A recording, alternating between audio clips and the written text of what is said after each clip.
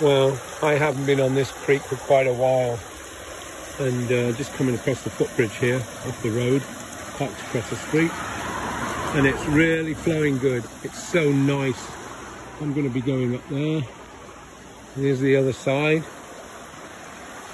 It's really good. I wonder if there's any steelhead in there. Sometimes when this happens, when we get water, we get some some trout in there. Anyway, head on. Okay, I've been up to the top, have a good walk today, and my bloody Fitbit, it's not working for some reason. That's a bummer. But went up to the top of the West Ridge, came back down Fern, and walked along here, Golden Spike. I haven't seen this for a long time, but what's more exciting is I've never seen water in the salmon run, in the fish, the fishway. Never seen water in it.